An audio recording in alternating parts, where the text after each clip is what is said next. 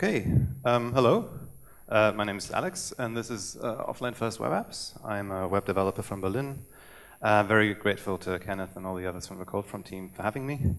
And I'm part of the team that makes um, Hoodie. It's a bit hard to explain what it actually is, but it's kind of an open source server that lets you build um, complete data-driven web apps from the front end. So if you don't want to deal with the back end, you don't really have to. And I'll talk about it later. Um, but it's a bit special in that um, the apps you build with it uh, are offline capable by default, which means they don't break when you disconnect from the network. And this is basically why we're also interested in this topic. Um, but it's not a talk primarily about Hoodie, although it does come up a few times. It's more about the idea of offline first. And this is going to be dense and fast, but also not very technical. It's more about the higher level things like concepts, interfaces, experiences, and understanding what the problem is in the first, in the first place. And there are several hands-on talks uh, later today, which should get you going with the technical stuff. But before we get started, let's take a small detour and talk about building things. So from 1933 to 1957, there was a place called the Black Mountain College in North Carolina. And it was where great artists and thinkers from around the world wanted to remake education, wanted to make it holistic and give arts and sciences and crafts equal emphasis. And one of the teachers there was somebody you probably know, um, this guy, Buckminster Fuller, the geodesic dome person, seen here with a dome, because you never get photos of him without a dome. Anyway, he thought domes were the future of architecture, so he had his students build them. And please note this amazing Asian man smoking a pipe while hanging from this thing. Anyway, uh, he wanted to build domes, so he built domes. This is for the 1967 World Fair in Montreal, and this is the American Pavilion. This is like the American view of the future. And the future was coming, like everyone was hyped, you know, everything was the year 2000. And he wanted to build in a way that reflected this, you know, new forms of living, new forms of community, new materials, and the dome had lots of advantages. You know, it's very, very sturdy. It uses less material than a traditional building. It needs less energy to heat. And it just seemed like the structure of the future. Efficient, robust, highly aesthetic, and geometrically perfect. So why don't we all live in domes? Well, nobody lives in this one because it caught fire. Um, but in, in general, we're in the future. We don't live in domes. What happened? Turns out what people really want is a building they can make their own that is robust, adaptable, and flexible. And brick, wood, and concrete boxes, you know, simple, dependable, proven, utterly traditional. And you may despair at how conservative people and their choices are, but you'll have to admit that in the end, you'd rather have a thing that works and the thing that acknowledges how your actual reality is. It doesn't have to be perfect, because you're not perfect either. And ironically, when the Black Mountain College had to expand its facilities, this is what they built a box. Because people want to have doors and cupboards and windows to lean out of and awnings to sit under and walls to screw shelves into. And they'd like to be able to put in dividing walls or extend the building. And it turns out, paradoxically, the most conservative, most conservative options usually turn out to be the most adaptable and the ones most suited to everyday life, because that box could be any number of things to any number of people. It's adaptable to everyday needs. So keep that in mind for a second while we zoom back into the present let's look at how we build and how we work. So how we work is basically science fiction. You know, we, we may make web apps or native apps, it doesn't really make a difference. But we make stuff, and while we make it, we imagine it, you know, being finished, which is necessarily in the future. And so we imagine them existing in a future where all the cool people are using our stuff and making us rich and famous. But our pitch is always, you know, in the near future, when I'm done with my work, your life will be better. And too often our industry will communicate this, kind of like science fiction too. So um, you may know Plastc. This is a small hardware startup that puts 20 credit cards in one kind of thing. And like practically every pre-order Kickstarter startup crowdfunding company, they have a vision, and of course they have a video with ukulele music and everything. And it's basically a tiny slice of science fiction a year or two from now saying, here's how we imagine real human beings behaving in the near future and they show the tech and everything, but it doesn't even really matter what the product is. They all work the same way by showing you this shiny, evocative, perfect, and slick future.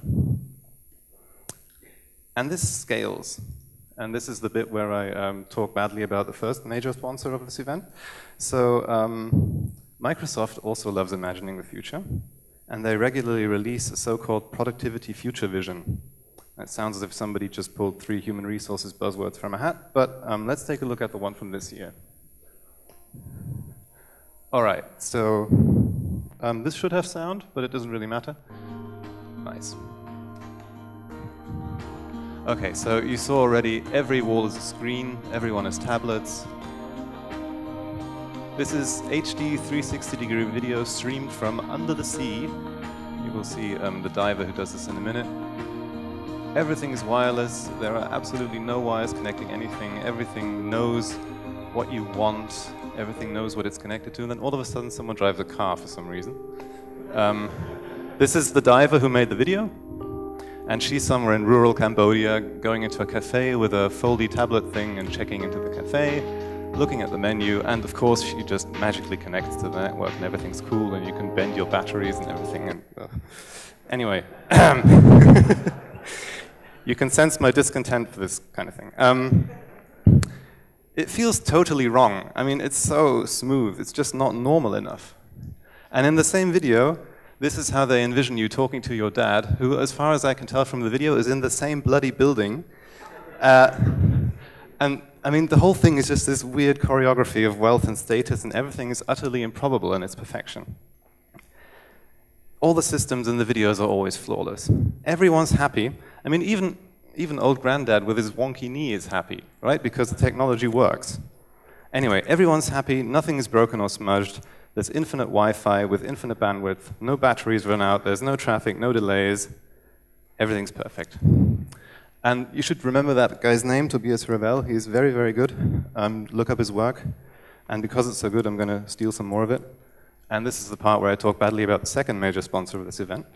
Um, you will remember Google Glass, which used to be the future, now it's the past. But while it was still a thing, of course Google made a video for it. Okay, Glass, record a video. This is it. We're on in two minutes. Okay, Glass, hang out with the Flying Club. Google photos of tiger heads. Hmm. You ready? You ready? Right there. Okay, Glass, take a picture.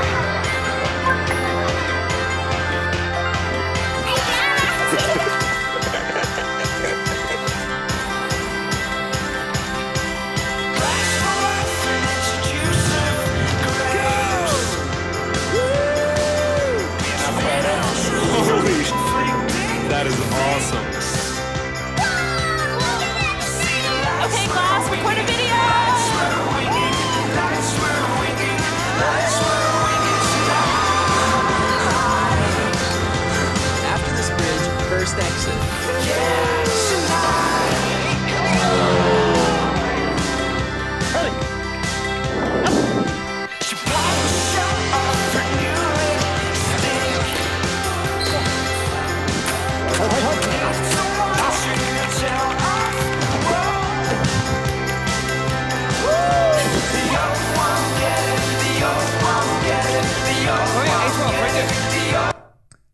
stop it at this point because it's interesting, because it's marginally better. There's normal stuff like playing with dogs or being late for a flight. Um, but the basic symptoms are the same. You know, the people and the lives and the circumstances, they're all total outliers. Really privileged people in this kind of post-scarcity scenario, as, as uh, Revell puts it. It's a classic case of everyone suddenly being an ice sculptor and flying around in balloons. Uh, it's not normal. And again, the systems are perfect where the humans aren't. And it again assumes this perfect global network, even in the sky, apparently. So it's still improbable, but it has hints of normality. And now let's go back a bit. This one is from 1969, um, a vision from a vision of the 1990s, and it's the same era as that dome I showed you from the beginning. So I'd just like you to picture that in your mind for a second before I press play, all right? The future, seen from the 60s, you've all seen the movies, okay? Now consider this was made by the British Post Office. Let's take a look at the sort of facilities we can give him. Worldwide communication, of course. Hello, Bill. This is Henry.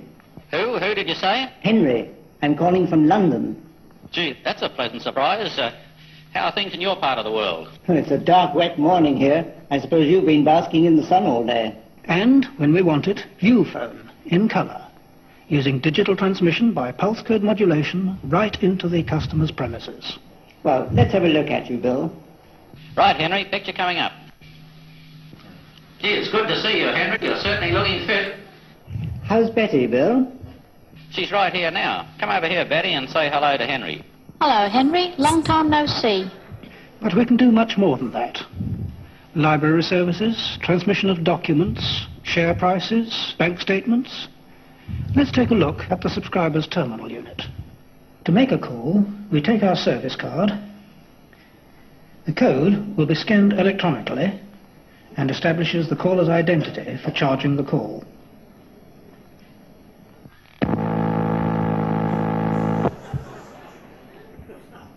As she keys, the digits appear on her viewphone screen. Suppose she makes an error, she can clear and start again.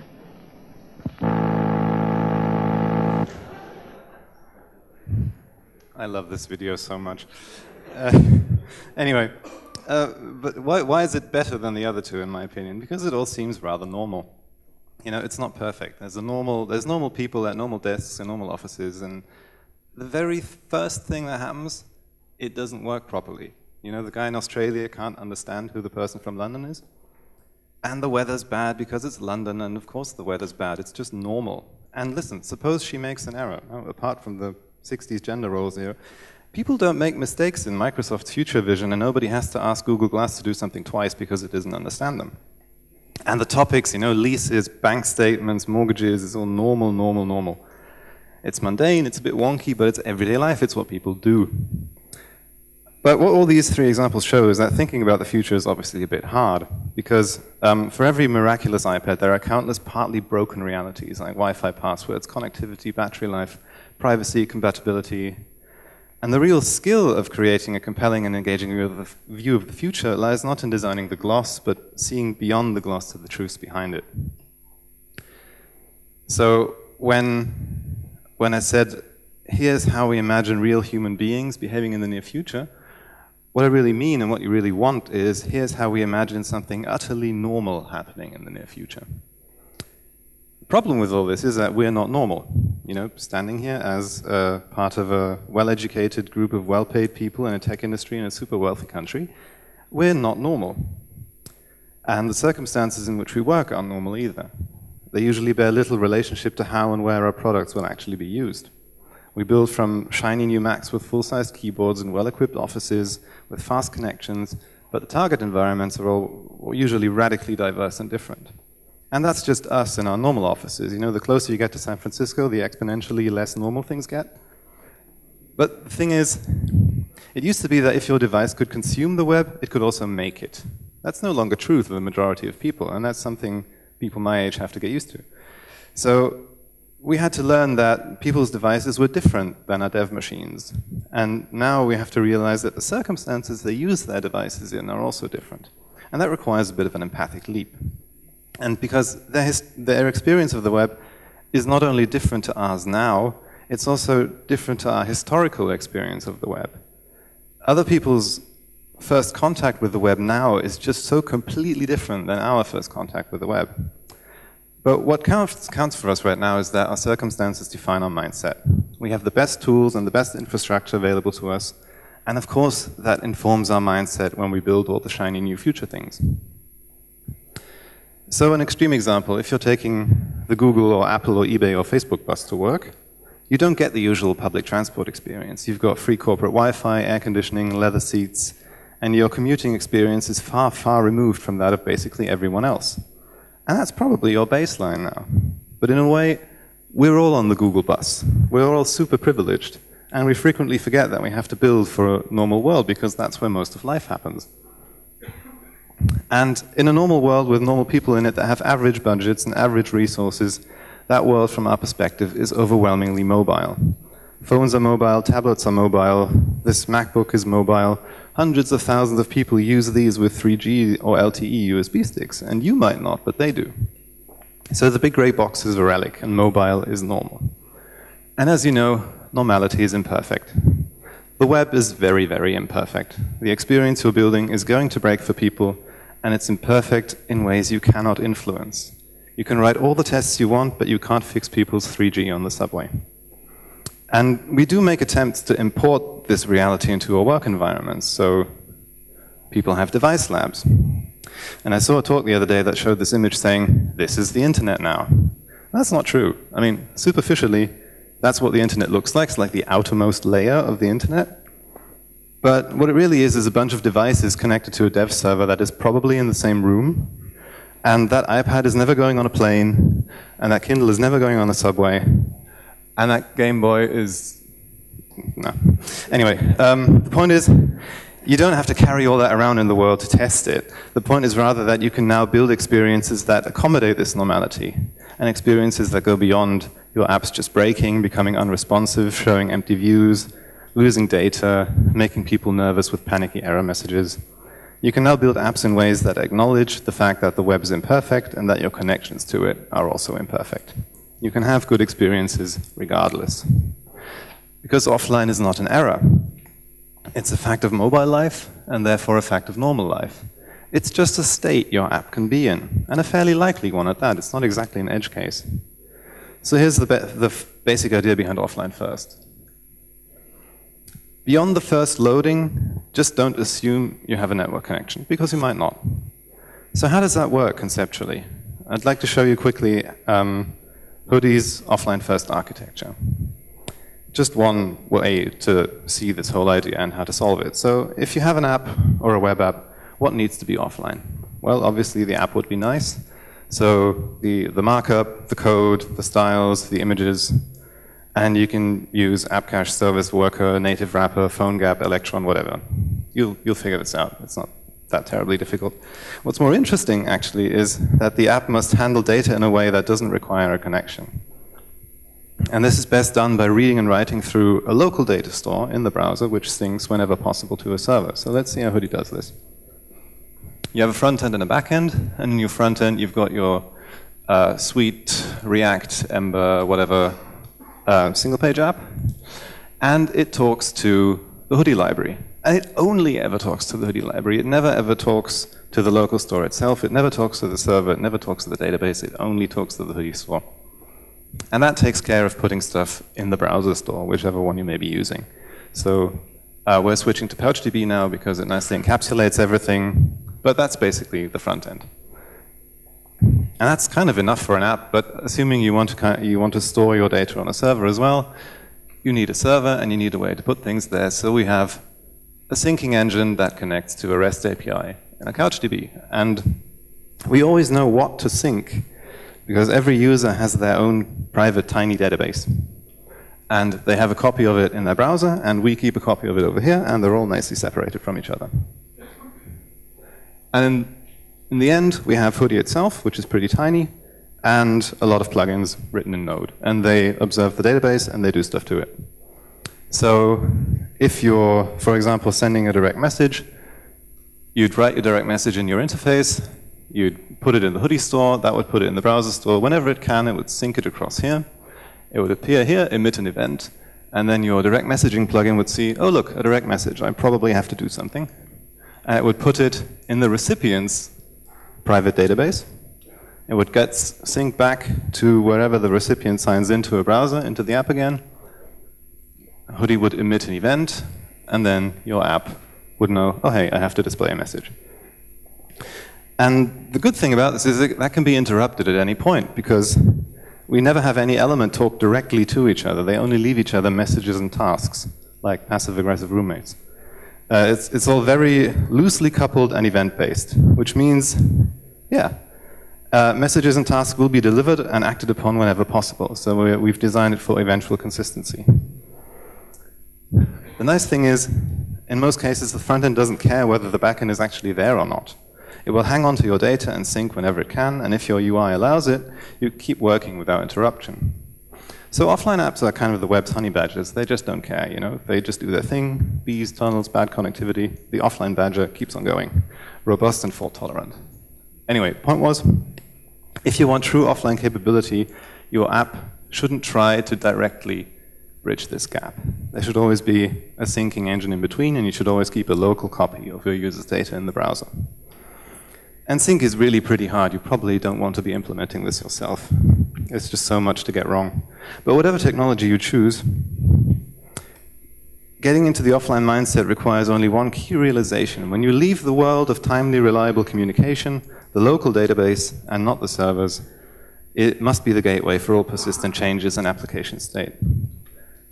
So this must be terribly difficult to implement, right? No, it's magic. Anyway, it's not magic, of course. It's one line of code.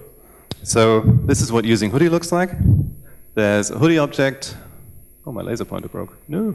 Um, it has a store object. The store has an add method, and then you add stuff to it. You know, and you have to specify a type, and then just you know an object with stuff in it. And that's it. That's how you add stuff to the, the data store. This is how you sign up a new user. There's an account object. It has a sign up method. You give it a username and a password. Fairly obvious. And if you want to update your UI when the store changes, the store has an on method. You specify what type of event you want to listen to and a handler, and then you handle stuff. So how do you make this work offline? That's it. That's all you need to do. All you need to do is embrace this decoupled event-based architecture, which you probably do anyway. And that's it. It's not a special feature you explicitly have to invoke. It's how the entire architecture works. You get offline for free. So let me just show you that in action so you believe me it's a real thing. Um, let's make a new hoodie app.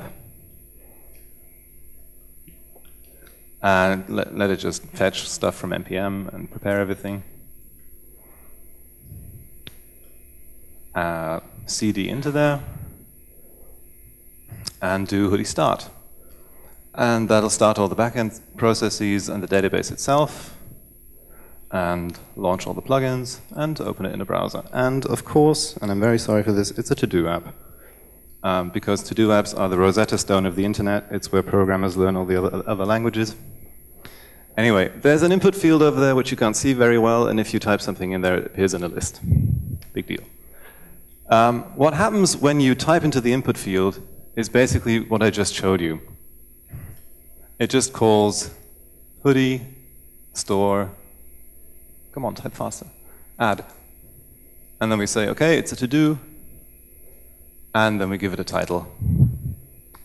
And yeah, it gets written into the database. Bam, there we go. And then the interface listens for this on event or rather the add event via the on method. So everything goes into the database, and the UI listens to events, and then it'll just show up. So, so far, no big deal. But we're not signed up, so if we open this in a different browser, we won't get our to-dos. So let's make an account. We do hoodie account sign up, give it a username and a password, a super safe password, and we can just check if we're really logged in. See if we have a username. Yep, brilliant. Okay, and let's see if this works. So now we're going to open this in a second tab. Just copy that. Oop. And there we go. Everything syncs across. Oh no, actually it doesn't because I was looking at the wrong tab. This is all too big. I'll just go over here. Anyway, let's sign in. That's fairly similar. Oh yeah, of course nothing is here because the two instances don't know about, about each other. So we do hoodie account sign in, same credentials, super safe password, and everything just appears. Right, now if we type something into the, into the input, it gets synced to the server, and if we type something over there, it also gets synced to the server and appears on the other one. And we're still only doing hoodie store add. It's still the same thing. There's nothing additional that makes this work. Okay, now let's break everything and stop the server.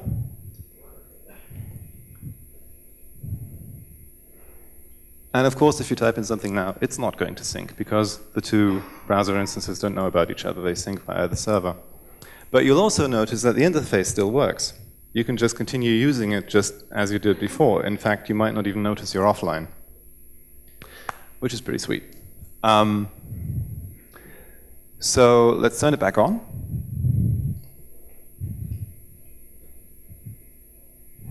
La -di -da -di -da. Come on. Okay, and um, everything's already synced back in place. No reloading, nothing, it just works. And you can just continue using it.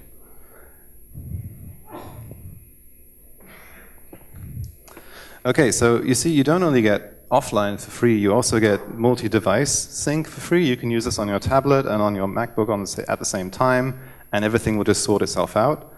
And you can just disconnect, and if you build your UI in a way that can accommodate it, you can just keep on working.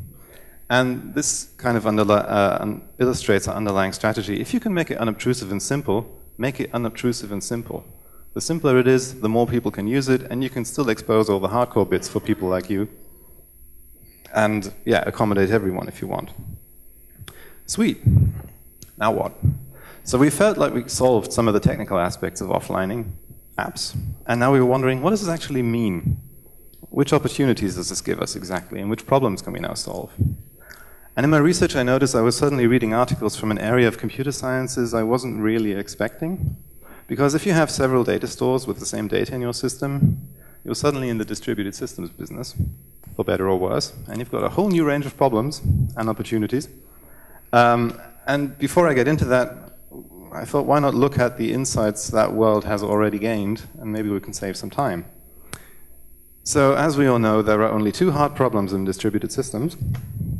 Number two, exactly once delivery. Number one, guaranteed order of messages. Number two, exactly once delivery. Now, seriously, though, there are three things that pop up again and again. And the first is that knowing the, the cost of knowing the truth is prohibitively expensive.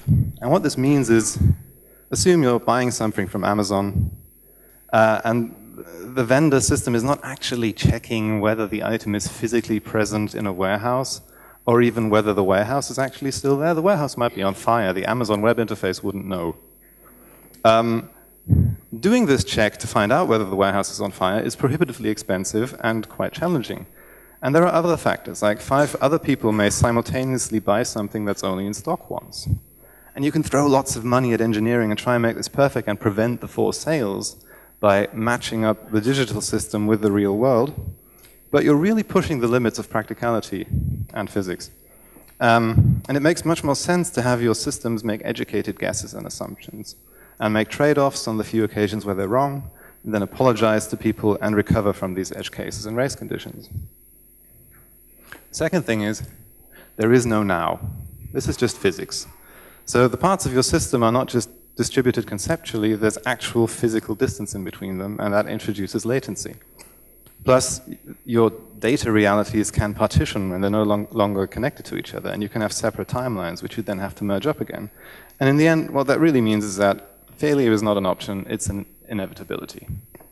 Warehouses catch fire, connections go down, trucks drive off bridges, networks partition, hardware fails, software is buggy. We can't know everything, we can't control everything, so how can we gain certainty about anything? Now, Tyler here is urging people to stop trying to build perfect systems. But that's only half of our problem.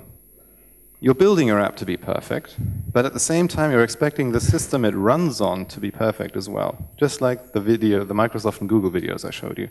They assume a perfect world for their services and apps to run on. And in any case, these three points nicely align with the problems we found people were actually having when offlining stuff. So we held workshops and talks and wrote blog posts and spoke to lots of people. And we, we were surprised at how many developers suddenly kind of opened up and said, yeah, we had similar problems. We never really spoken to anyone because it wasn't a thing. You know, and people had very interesting and specific problems ranging from building, and I quote, runkeeper for fish, uh, for anglers in the Norwegian wilderness and to several people trying to build point-of-sale systems for limited resources. But we identified some central themes. The first most pressing issue people seem to have is that they can't trust their apps to do the right thing when the connections get dodgy. So, as a mobile app user, no, wait, um, scratch that. As an app user, I want to be sure that my data is actually available when I need it. And that is so fundamental, I think it gets forgotten most of the time because it's just so fundamental. Of course users want to have their data ideally all the time, but it used to be a painful problem and it was easier to just fail, show an error, blame the telecom. But you can do a lot better and offline first is the way to go. So let me illustrate the problem. Um, this is the German railway advertising that you can apparently book tickets and use the app under any circumstances, even when free soloing in the Alps. Because remember, in the tech future, everyone's into extreme sports and ice carving. Um, contrast this with the real world, where there's this guy who cannot access his ticket because it's in the app, and the first thing the app does when you open it is try to connect to a server, which doesn't work when you're on a high-speed train in Germany. Um, it fails, and it fails slowly, while a ticket inspector is breathing down your neck, a German ticket inspector, and this is a bad user experience. So the solution would obviously be to store personal data and tickets locally and not make the initial communication with the server blocking. Similarly, another symptom is people taking screenshots of their apps because you can't trust them to retain your data, especially when traveling. Who here does this? Thank you. So I went to Japan recently. This is my camera roll. It's half photos and half screenshots of bloody Foursquare. Um, yeah. um, because, you know, you, you, you, really have to be afraid the data you'd only just fetched would disappear a few seconds later. This kind of thing happens a lot. There was data in all of these views, and then I made a terrible mistake like switching apps or putting the phone in my pocket for a minute. Because the apps ditch the data, they fail at loading new data, and then you're stuck and have no data at all, and that's just not cool. So if you build offline first apps, you get more trustworthy and reliable apps, which is cool. Next problem. Many apps are designed to work only while connected because the people who design and build them are always connected, even when there's absolutely no intrinsic requirement to do so. So you can do things differently nowadays. It's not like the, the age of the thin client and the, the expensive server which is in the university somewhere. You know, you have all the computing power in your pocket. So when I'm offline, I want to be able to use features that don't require a connection. If you're only viewing your own data or adding data yourself, why doesn't this just work, online or offline? You should be able to add meetings, mark a task as done, write a message, check in, post a picture. You know, you store it now, you sync it later, you don't get in the way of people. And again, this is an opportunity. You get more useful and more usable apps. This is directly linked to the next one. My data isn't with me. It's probably on a server in the US somewhere. If you're lucky, it's on a CDN as the same continent, uh, on the same continent as you. But it's my personal data. Why is it not on here or on here? I might need it and you don't know when. Plus, in most syncing scenarios, I'm the authority over my data. So let, let me have a local copy, or even better, you just do the backups. I'm in charge. And granted, this gets problematic if you're doing something mega collaborative, like Google Spreadsheets with 20 users or something. But if you have a use case where your user data is fairly well isolated, you can easily do this, and you could easily do this years ago. So the potential benefit is always accessible personal data. Super fast, always available, simply reliable. Next thing is that apps often require advanced planning to be useful. So ideally, I'd want an app to preempt my needs in a sensible manner because I don't know in advance when I'll be offline. If I knew in advance when I'd be offline, we wouldn't be having this problem because we could prepare for it. So apps should ideally have recent data in them when you open them. Nowadays, you expect your podcast app, for example, to download new stuff as it appears and not when you open it, because when you open it, you're on a subway and you don't have network. And this is wonderful for offline too, because think, you can think about whether your app should just hang on to data or even prefetch new data for your users before they might need it. In a similar vein, obviously important data should probably be stored locally as well. So the Dropbox app is nice in this regard. So if you fave something on your phone, it's now on the phone, always. And that's a really good assumption for them to make because it's obviously important to you. And you could take this a bit further. Um, sure, you can have offline maps. You need to know in advance, though. You get an offline map apps, Maps app, uh, or get Google Maps to cache your surroundings. But you know, just think of the future. Google knows where you live, right? So imagine if it would just preemptively download your surroundings as soon as it sees you're on Wi-Fi in a foreign country. That would be practical. It would also be a bit spooky, but um, this, this nicely demonstrates some of the issues, though. You might need new UI elements, you might need a new design language to communicate this to people. Plus, you need to answer some interesting questions. How long will the cached map be retained? Does it get flushed at some point? Can I remove it when I don't need it anymore? Can I cache more than one at a time? And if yes, is there a limit? In short, how does it work and can I trust it? For you as a developer, can you make it trustworthy while hiding all the complexity? There's a lot of interesting new questions, but there's a cool opportunity of making apps that are just so useful because they preempt the user's need. But that was already pretty tricky now, and that brings us to the challenges. It's becoming obvious that there are any number of new things you could be doing, and that most of these new things require new interfaces, and in some parts, even a new way of talking about this kind of thing, because you have to communicate stuff to users you, you didn't have to communicate before. So at, the most basic level, if your app behaves differently depending on whether it's connected or not, you probably have to make this clear somehow. And Threema, for example, does this. I don't know if anyone still uses it. It's kind of dead. But um, did this nice thing where it displays this connectivity stripe so red, disconnected, yellow, connecting, green, connected. And on first run, it explains to you what that means for you as a user. Another big issue is how do we communicate the states your data can be in? It could be stored locally, it could be scheduled for syncing, it could be synced, it could be possibly out of date, it could be in conflict.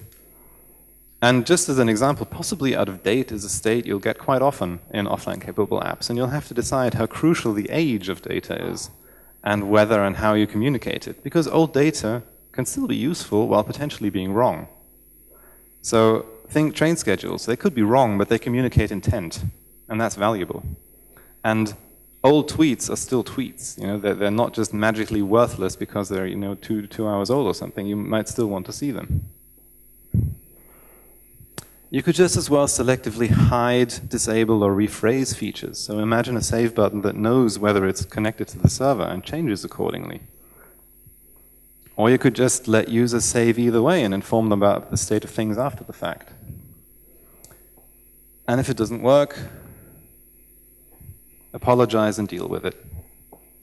There are loads of ways to solve this problem depending on the use case, who you're developing for, and how crucial the data is to them. But one thing you'll probably have to do is inform users about sync outcomes. And not just whether they succeeded or not, but how and possibly even why data has changed in their browser, and how and possibly why data has changed that they're currently looking at. Because that's what happens when you get syncing. And that's easily one of the hardest problems, UI problems related to sync. So I said that if users only add data, why not always just let them do that and sync later? Well, it turns out things aren't quite as simple, and that context really matters. So here's a fairly simple chat example to illustrate some of the things you have to keep in mind. So you have a chat. A says hi, B says yo, A says meet me on Thursday, B says sure I'm free, A says, oh wait, I meant Tuesday.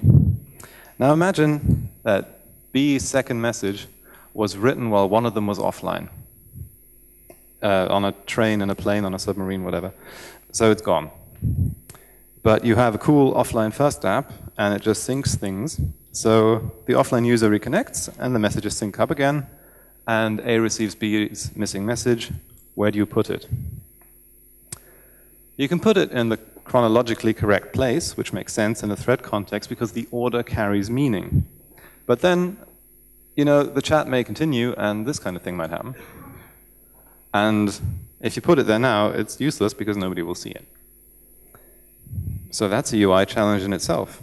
The, the alternative is, of course, to do what I think iMessage sometimes seems to do, is display it in the flow according to the time it arrives at. But that guarantees that the message will be seen by A, but it also changes the meaning of the message because the message order is meaningful. It was supposed to be this way around. And this is only text-based, you know, really one-dimensional data. Simple, simplest example I could think of, really. What do you do with deleted items and things that can't be organized in lists or objects that are in themselves not immutable but have properties? And there's a whole lot of potential for complexity here.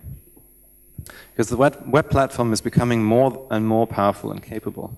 Here's a photo editor, and it's not Photoshop, and it's not trying to be. It's quick, it's easy, there's no installation, it's cross-platform, auto-updates, and it does most of the things you want from a simple photo editor.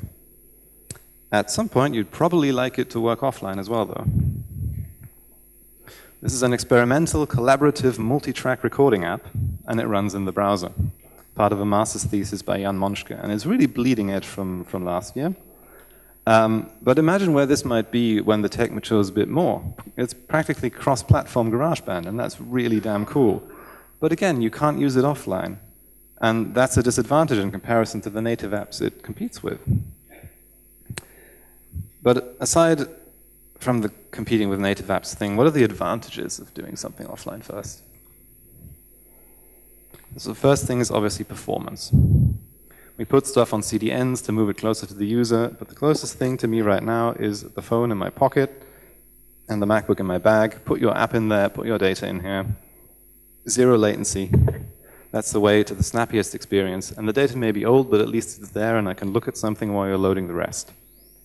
And in many cases, as I said, time doesn't even invalidate the data. So there's still a benefit to having it. Second thing is robustness. Offline capability protects from service interruptions. And interestingly, we hadn't really anticipated this. So we have a service running on Hoodie uh, with quite a few users, which we had to take down for maintenance. And most of them didn't notice because it doesn't hit the server that often. And they have the app cached, it just works. The server's down, nobody notices, it's cool. Turns out it doesn't matter if your app can't reach the server because the user is on the subway or because the server is down, it'll still work. And better experiences. Apps don't lose data, apps are more trustworthy, apps are more usable and useful, and they cause less frustration.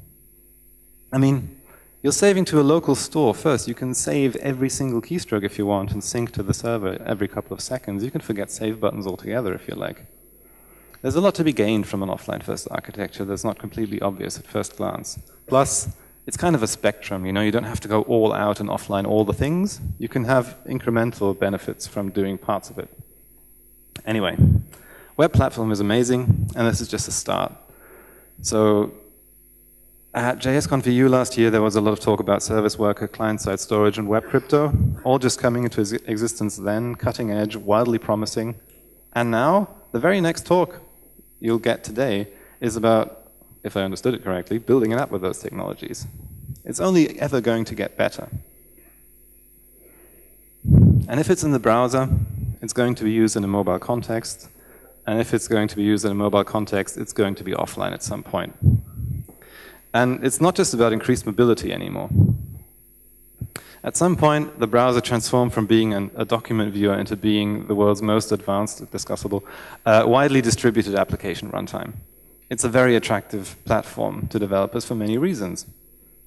And as it gets more mature and you offload more things into it, people want a mature and solid experience. And waiting for more cell towers to be built won't help your users. Your apps have to work. So here's the conclusion. We can't keep building apps with a desktop mindset of permanent fast connectivity, where a temporary disconnection or slow service is regarded as a problem and communicated as an error.